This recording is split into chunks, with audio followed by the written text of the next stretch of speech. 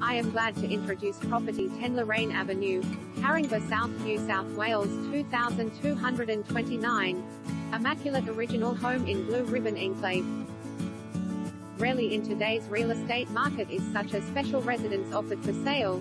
Presented for the first time in nearly 70 years, this superbly cared for and much loved family home has stood the test of time and is in indisputably impeccable condition situated in the exclusive locale of Caringbah South and set on a plot of 581, 7 SQM with a frontage of 18, 59 meters. The possibilities to update, renovate or redevelop, subject to council approval, are many and varied, yet being so beautifully maintained, this family home is ready to welcome a new family into the fold immediately. Features of this charming home include, three well-proportioned bedrooms with ceiling fans, two with built-in robes and main bedroom with split-system air conditioning plus window awning, entry to good-sized L-shaped combined living and dining areas with split-system